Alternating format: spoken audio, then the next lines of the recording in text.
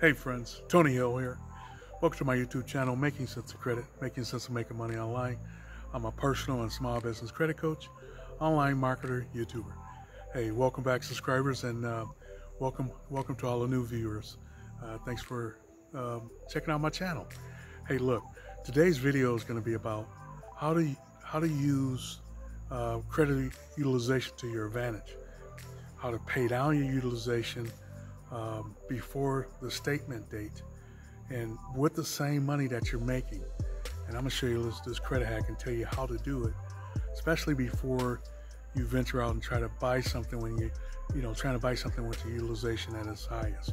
You don't want to do that. But look, before I jump into this, uh, smash the like button, hit the notification bell for upcoming content, make a comment if you like, and make you know share this with your friends family. Like I always say, don't keep it to yourself and most of all, subscribe to my channel.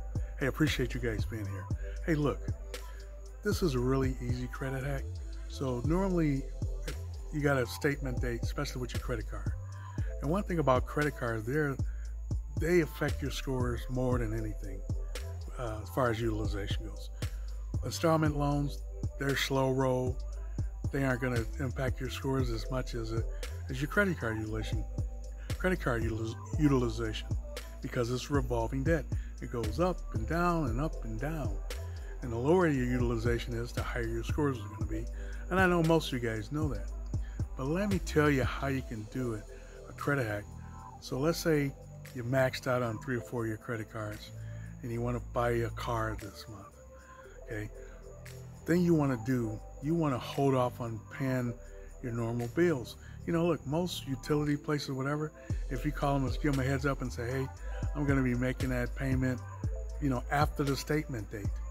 Um, you're going to be in better shape. Okay. So you, so basically what you want to do, you want to pay those bills. You want to pay that credit card bill prior to the statement date, generally three or four days. And then because you can use whatever you pay on that credit card, let's say you got a, a $2,000 limit on your credit card and your bill's $500. You could pay that $500 uh, pay off that credit card, pay the credit card down to 500. After the statement date, use your credit card to pay that bill down. But your your credit utilization is going to be lower, uh, and your scores are going to be higher. And you could do that on two, three, four bills, folks. You know, so uh, but but never never try to finance anything when your utilization is very high, particularly more than 30%. You know, and I say the closer you can get to one to two percent, the better.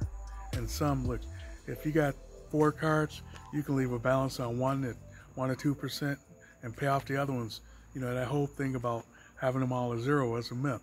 Does it help to have a little balance on one? Yes, but uh, but don't be afraid to to pay your pay your debt down.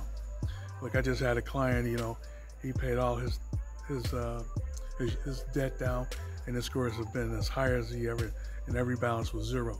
And he's like, should I, you know, should I uh, put a balance on money? I said, man, you had a, you know, six, six, six, 760, 780, and 800, uh, brother, though, you're okay. so, but, but anyway, that's a credit hack. Before you buy anything, make sure your utilization is down and use the cash and use the money that you would normally pay those bills for. Pay on with credit card credit cards after the statement date.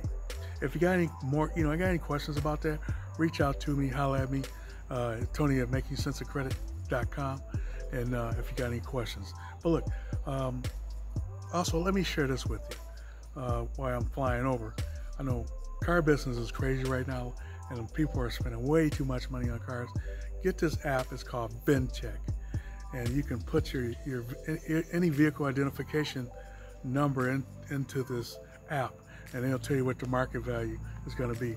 And if the market value is two, three, four thousand dollars, pass on that.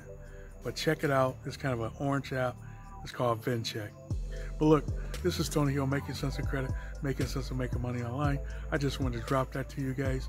Hopefully you enjoyed the video. Smash the like button and subscribe. Until next video, we'll see you.